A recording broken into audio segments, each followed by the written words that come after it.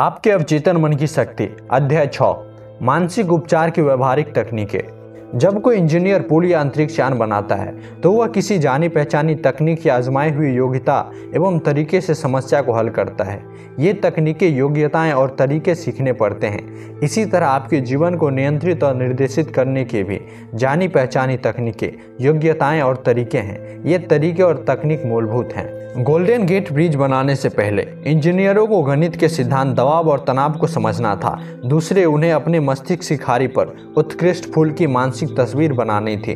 तीसरा कदम उस तस्वीर को साकार करने के लिए आजमाए हुए और समय सिद्ध तरीकों का इस्तेमाल करना था। जब ये तीनों कदम पूरे हो गए तो पुल बन गया और कार चलने वालों की कई पीढ़ियाँ उससे पास जाने लगी। अगर आप चाहते हैं कि आपकी प्रार्थनाओं का जवाब मिले तो आपको सही तकनीक और विधियों की शुरुआत करनी होगी। प्रार्थना का जवाब वैज्ञानिक तरीके से मिलता है। कुछ भी संयोग से नहीं होता। यह व्यवस्था और नियम फ़ायदे की दुनिया है। इस अध्याय में आप अपने आध्यात्मिक जीवन के प्रकटीकरण और पोषण की व्यवहारिक तकनीक पाएँगे। आपकी प्रार्थना के गुब्बारों की तरह हवा में लटके रहने की ज़रूरत नहीं है। उन्हें कहीं पहुँचना चाहिए और आपके जीवन में कुछ लाभ पहुंचाना चाहिए। प्रार्थना का विश्लेषण करने पर पता चलता है कि इसकी कई अलग अलग विधियाँ और तरीका हैं। हम इस पुस्तक में धार्मिक पूजा पाठ की औपचारिक प्रार्थनाओं को शामिल नहीं करेंगे। समूह आराधना का अपना महत्व है, लेकिन यहाँ हम उन पर ध्यान केंद्रित नहीं करेंगे। हमारा मूल ध्यान तो उस व्यक्तिगत प्रार्थना के ऊपर प्रभावी तरीके पर है, जो आपकी रोज़मर्रा की ज़िंदगी में शामिल किया जा सके, ताकि आपको या दूसरों को मदद मिल सके।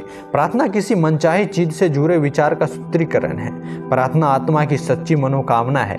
आपकी मनोकामना ही आपकी प्रार्थना है। या आपकी सबसे गहरी ज़रूरत से मिलती है और उन चीज़ों को साकार करती है, जिन्हें आप अपने जीवन में पाना चाहते हैं। वे लोग धन्य हैं, जो धर्म परायण के भूखे और प्यासे हैं, क्योंकि उन्हें भरपटे मिलता है। यही प्रार्थना की सच्ची प्राकृति है। जीवन की भूख और शांति, सद्भाव, स्वस्थ, खुशी और जीवन की बाकी अन्य नियामतों को पाने की कारगर अभिव्यक्ति। चेतन से अवचेतन तक विचार पहुँचाने की तकनीक। जैसा हम देख चुके हैं, प्रभावी प्रार्थना का रहस्य अवचेतन मन को इच्छित परिणाम से सरोवार करता है। ऐसा करने का एक बहुत आसान तरीका चेतन से अवचेतन मन तक विचार पहुँचाने की तकनीक है। इसमें मूलभूत अवचेतन मन को प्रेरित किया जाता है, ताकि वह चेतन मन के आग्रह को उसी रूप में ग्रहण को ग्रहण कर ले। यह तकनीक सपने जैसे स्थिति में सबसे अच्छी तरह काम करती है। जान ले कि आपके इस ज़्यादा गहरे अवचेतन मन में असीमित बुद्धिमता है और असीम शक्ति है। बस शांति से अपनी मनोकामना के बारे में सोचे। इसके साकार होने की तस्वीर इसी पल से देखना शुरू कर दे। उस छोटी लड़की की तरह बने, जिसे बहुत बड़ी खांसी थी और गला खराब था। उसने दृढ़ता से बार बार घोषणा की, खांसी अब जा रही है। अब यह जा रही है। चमत्कार यह हुआ कि खांसी एक घंटे में सचमुच गायब हो गई। इस तकनीक का इस्तेमाल पूरी ईमानदारी और सहजता से करें। आपका अवचेतन आपके ब्लूप्रिंट को स्वीकार कर लेगा। अगर आप अपने और अपने परिवार के लिए नया घर बनवा रहे हैं तो आप उसके ब्लूप्रिंट में गहरी रुचि लेंगे। आप यह सुनिश्चित करना चाहेंगे कि भवन निर्माता आपके ब्लूप्रिंट का अक्षर पालन करे। आप उसके द्वारा लगाए जाने वाले निर्माण सामग्री पर भी ध्यान रखेंगे। अगर जानते हैं कि आपकी भावी मकान का जीवन इस सामग्री की गुणवत्ता पर निर्भर करता है, इसीलिए आप सर्वश्रेष्ठ सीमेंट, बिजली के तार, छत की सामग्री आदि चुनेंगे। क्या इसमें समझदारी नहीं होगी? कि आप इतना ही ध्यान आपके मस्तिष्क घर पर रखें? क्या इसमें समझदारी नहीं होगी? कि आप इतनी ही चिंता, खुशी और समृद्धि के अपने मानसिक ब्लूप्रिंट पे करें? आपके सभी अनुभव और जीवन के दाखिल होने वाली हर चीज़ उन मानसिक ईंटों की प्रकृति पर निर्भर करती है, जिसका प्रयोग आप अपने मानसिक घर को बनाने में करते हैं।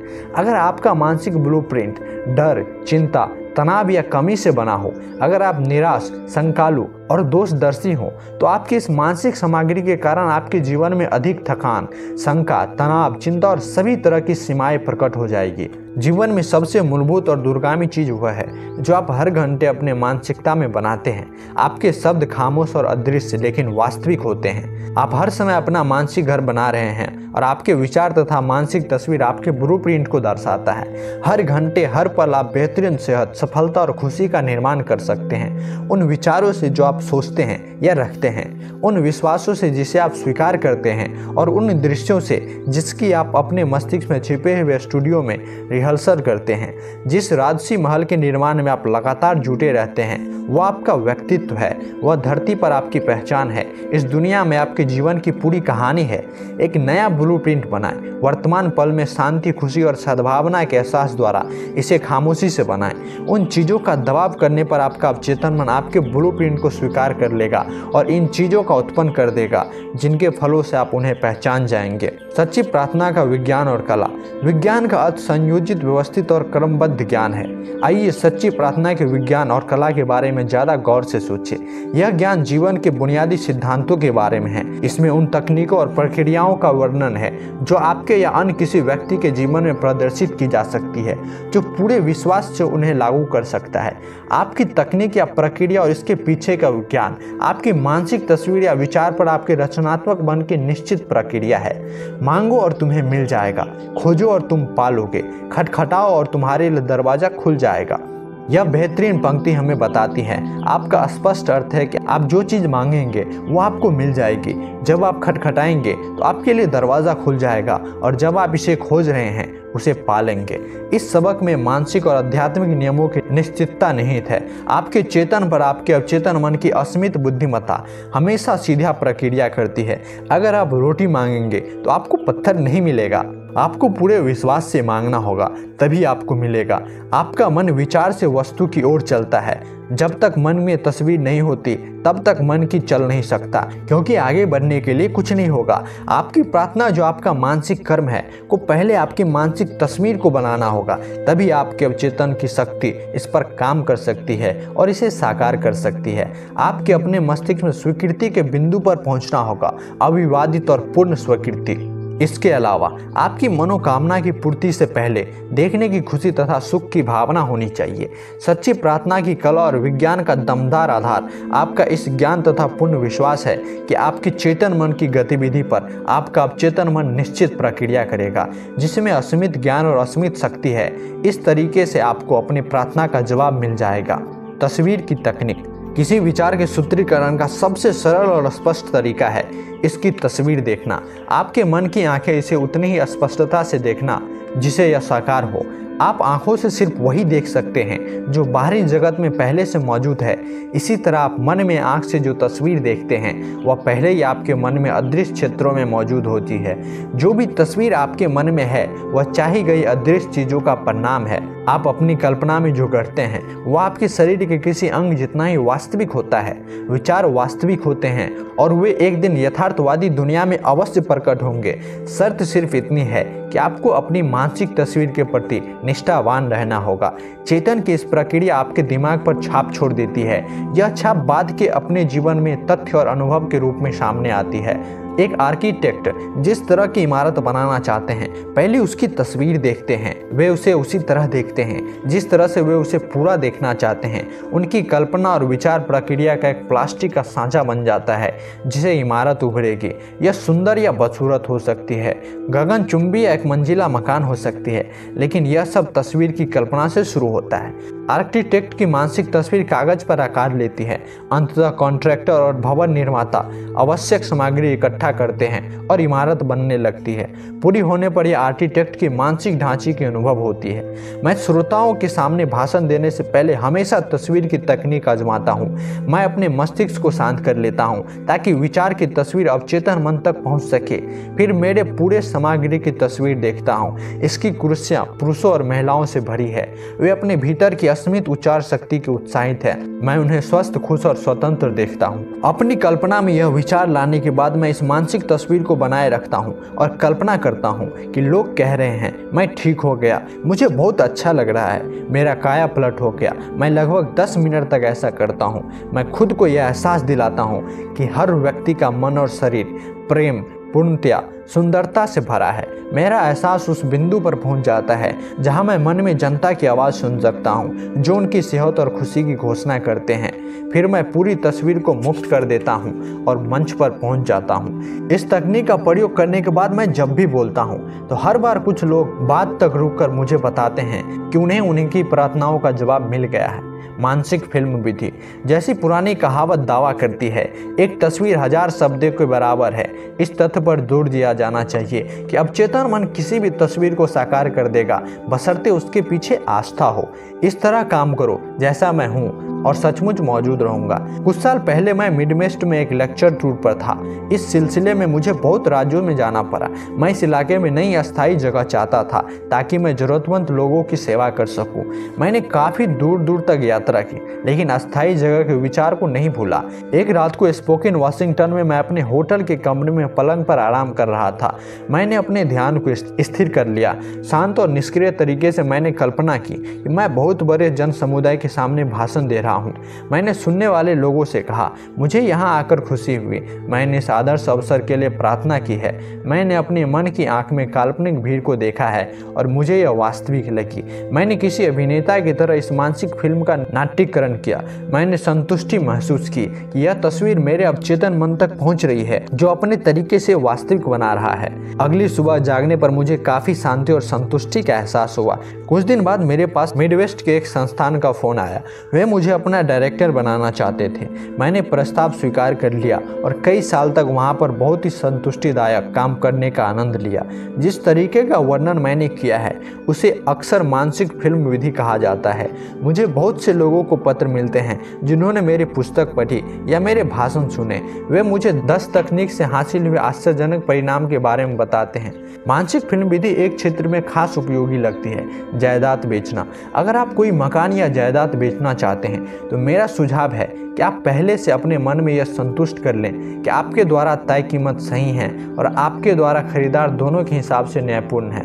इसके बाद अपने मस्तिष्क को शांत कर लें स्थिर हो जाएँ, विश्राम करें और उनिंदी निष्क्रिय अवस्था में चले जाएँ। ताकि समस्त मानसिक प्रयास न्यूनतम हो जाए। अब अपने हाथों में चेक और तस्वीर देखें। चेक पाने पर खुशी मनाएँ। चेक के लिए धन्यवाद दें और अपने मस्तिष्क में बनी पूरी मानसिक फ़िल्म की सहजता अनुभव करते हुए सो जाएँ। आपको इस तरह काम करना है, जैसे यह सच हो चुका हो। ऐसे करने से अवचेतन मन पर इसकी छाप बन जाएगी। फिर अस्मित बुद्धिमता उस खरीदार को आपकी ओर आकर्षित करेगी, जो उस जायदाद को सचमुच चाहता है और इसे प्रेम करेगा तथा इसमें समृद्ध होगा। मस्तिष्क के अधिक गहरे प्रभाव से खरीदने और बेचने वाले एक साथ आ जाते हैं। आस्था होने पर मन में रखी मानसिक तस्वीरें हकीकत बन जाती है। नींद की तकनीक। उनिंदी निष्क्रिय अवस्था में प्रयास न्यूनतम हो जाता है। उनिंदी अवस्था में चेतन मन काफ़ी हद तक निष्क्रिय हो जाता है। इसका कारण यह है कि अब चेतन सोने से ठीक पहले और जागने के ठीक बाद ही सबसे शक्तिशाली हो जाता है। इस अवस्था में आपकी इच्छा को अब चेतन मन तक पहुँचने से रोकने वाले नकारात्मक विचार मौजूद नहीं होते हैं। मान ले, आप किसी विनाशक आदत से छुटकारा पाना चाहते हैं। इसके लिए आरामदायक मुद्रा अपना ले, अपने शरीर को स्थिर कर ले और स्थिर हो जाए। उनिंदी अवस्था में जाएँ और बार बार किसी लोरी की तरह दोहराएँ। मैं इस आदत से पूरी तरह आज़ाद हूँ। मैं सद्भाव और पूर्ण मानसिक शांति महसूस कर रहा हूँ। इन शब्दों को रात और सुबह पाँच मिनट, दस मिनट तक धीरे धीरे शांति और प्रेम से दोहराएँ। बार बार दोहराने शब्दों का भावनात्मक महत्व बढ़ जाता है। जब नकारात्मक आदत ज़ोर मारे तो इस फॉर्मूलों को दोहरा ले। इस तकनीक से आप अवचेतन को विचार स्वीकार करने के लिए प्रेरित करते हैं और उपचार हो जाता है। धन्यवाद तकनीक। बाइबल में पॉल सुझाव देते हैं हम अपने आग्रह के साथ प्रशंसा करें और धन्यवाद दें। प्रार्थना की आसान तरीके से असाधारण परिणाम मिलते हैं। कृतज्ञ हृदय ब्रह्मांड की रचनात्मक शक्ति हमेशा करीब होता है, जिससे साझे संबंध के नियम तथा क्रिया और प्रतिक्रिया के ब्रह्मांडीय नियम के आधार पर इसकी ओर असंख्य नियामतें प्रवाहित होती है। हाल ही में एक युवा माँ ने मुझे इस तकनीक के बारे में अपना अनुभव बताया। उसने कहा, मेरी नौकरी छूट गई थी और मैं दिवालिया थी। मेरे तीन बच्चे थे जिनका मुझे पेट पालना था। मैं नहीं जानती थी कि मदद के लिए किधर जाऊँ? फिर मैंने आपकी यह बात सुनी कि हमारी प्रार्थना का जवाब मिलने से पहले ही हमें कृतज्ञ होकर धन्यवाद देना चाहिए। ऐसा लगा जैसा मेरे दिमाग की बत्ती जल गई हो। मैं समझ गई कि मुझे इसे आजमाना ही होगा। हर रात और सुबह तीन हफ़्ते तक वह महिला यह शब्द दोहराती रहे। परम पिता, मेरे दौलत के लिए धन्यवाद। उसने यह काम स्थिर, शांत अवस्था में किया और तब तक करती रही।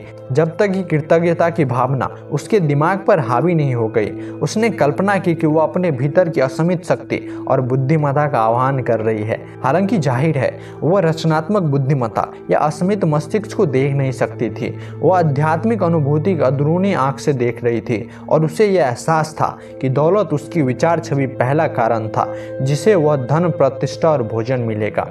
उसकी विचार भावना दौलत के ओतप्रोत थी, जिस पर किसी तरह की परिस्थिति का प्रभाव नहीं पड़ा था। बार बार धन्यवाद परमपिता दोहराकर महिला का दिलो दिमाग स्वीकृति के बिंदु पर पहुँच गया। जब उसने मन में कमी, गरीबी और रोग के विचार आते थे तो वह आवश्यकता अनुसार बार बार कहती धन्यवाद परमपिता। वह जानती थी कि अगर वह कृतज्ञ नज़रिया रखेगी तो उसका दिमाग दौलत के विचार को ग्रहण कर लेगा, और यही हुआ। उस महिला की प्रार्थना का रोचक परिणाम मिला। प्रार्थना शुरू करने के कुछ समय बाद उसे रास्ते में एक पूर्व नियोक्ता मिला, जिससे वह पाँच साल से मिली नहीं थे।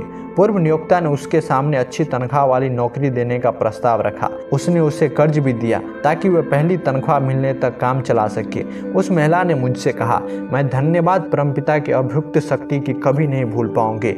इसने मेरे लिए चमत्कार किया है। सकारात्मक घोषणा का तरीका। सकारात्मक घोषणा का प्रभाव काफ़ी हद तक इसके शब्दों में निहित सत्य और अर्थ को आपकी समक्ष से तय करता है। प्रार्थना में निरर्थक दोहराव न करे। सकारात्मक घोषणा की शक्ति निश्चित और स्पष्ट सकारात्मक बातों के बुद्धिमत्तापूर्ण अमल में है। मान ले, स्कूल का कोई बच्चा तीन और तीन को जोड़कर ब्लैक बोर्ड पर सात लिख देता है। टीचर गणित की निश्चितता से घोषणा करता है कि तीन और तीन छह होते हैं। इसके बाद बच्चा अंकों को बदल लेता है। टीचर की घोषणा से तीन और तीन छह नहीं हुए। यह तो पहले से ही गणित की सच्चाई थी। इसी सच्चाई के कारण बच्चों ने ब्लैक बोर्ड के अंक बदल लिए बीमार होना असामान्य सामान्य है स्वास्थ्य होना सामान्य है। स्वस्थ आपके अस्तित्व की सच्चाई है। जब आप स्वस्थ, सामंजस्य और खुद के लिए या किसी दूसरे के लिए शांति की सकारात्मक घोषणा करते हैं, तथा जब आपको यह एहसास होता है कि आपके अस्तित्व के शाश्वत सिद्धांत है तो आप अवचेतन मन के नकारात्मक ढांचे को अपने आस्था और घोषणा के अनुरूप दोबारा व्यवस्थित कर लेते हैं। प्रार्थना की सकारात्मक घोषणा का परिणाम जीवन के सिद्धांत पर बल देने पर निर्भर करता है, चाहे स्थिति कैसी भी दिखे। एक पल के लिए विचार विचार करें। गणित का एक सिद्धांत होता है, लेकिन गलती का कोई सिद्धांत नहीं होता। सच्चाई का एक सिद्धांत होता है, लेकिन बेईमानी का कोई सिद्धांत नहीं होता। बुद्धि का एक सिद्धांत होता है, लेकिन अज्ञान का कोई सिद्धांत नहीं होता। सद्भाव का एक सिद्धांत होता है, लेकिन मुनमुटाव का कोई सिद्धांत नहीं होता। स्वस्थ का एक सिद्धांत होता है, लेकिन बीमारी का कोई सिद्धांत नहीं होता। और समृद्धि का एक सिद्धांत होता है, लेकिन गरीबी का कोई सिद्धांत नहीं होता। जब इंग्लैंड के एक अस्पताल में गोल स्टोन हटाने पर मेरी बहन का ऑपरेशन होने वाला वाला था। तो मैंने सकारात्मक घोषणा के तरीके का प्रयोग किया। अस्पताल की जांचें और एक्सरे में उसके रोग की पुष्टि हो चुकी थी। उसने मुझे अपनी सेहत के लिए प्रार्थना करने को कहा। मैं छः हज़ार मील से ज़्यादा दूर था, लेकिन इससे मैं विचलित नहीं हुआ। मस्तिष्क सिद्धांत में समय और दूरी का कोई महत्व नहीं होता। असीमित मन या बुद्धिमत्ता एक ही समय में हर बिंदु पर पूरी तरह मौजूद रहती है। दिन में कई बार मैंने अपने बहन के रोग और लक्षणों और उसके शारीरिक व्यक्तित्व के विचार को दूर किया।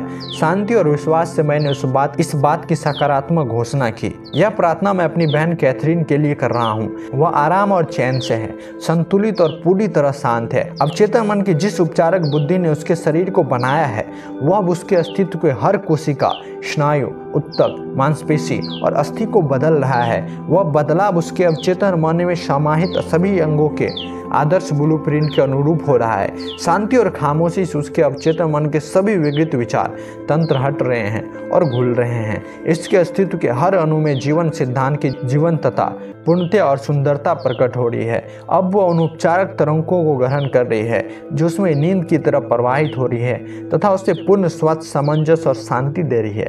सारी विकृतियाँ और कुरूप छवियाँ अब उसमें प्रवाहित हो रहे प्रेम तथा शांति का स्मित समुद्र में घुल रही है। यही हो रहा है। दो सप्ताह बाद मेरी बहन की एक बार फिर जाँच हुई। आश्चर्यजनक बात यह थी कि इस बार उसके एक्सरे में कोई गड़बड़ नहीं निकले।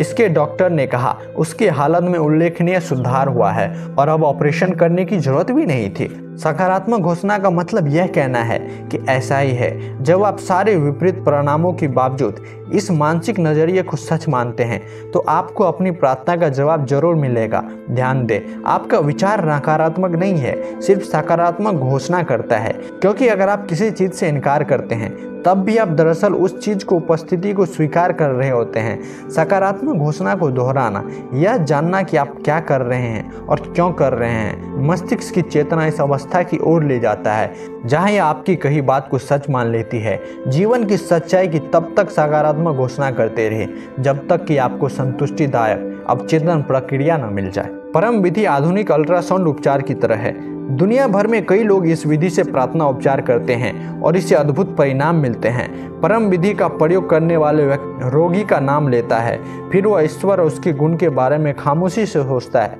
जैसे ईश्वर परम आनंद है, अस्मित प्रेम है, अस्मित बुद्धिमता है, सर्वशक्तिमान है, अस्मित ज्ञान है पुण्य सद्भाव है, अवर्णीय सौंदर्य है और पुण्यतिया है। जब वह इस तरह की बातें सोचता है तो उसकी चेतना ऊपर उठकर एक नई आध्यात्मिक धरातल पर पहुँच जाती है। वह महसूस करता है कि ईश्वरीय प्रेम का महासागर रोगी के मन और शरीर में मौजूद गड़बड़ चीज़ को डुबा रहा है, जिसे दूर करने के लिए वह प्रार्थना कर रहा है। वह महसूस करता है कि ईश्वर की सारी शक्ति और प्रेम और रोगी पर केंद्रित हो रहा है।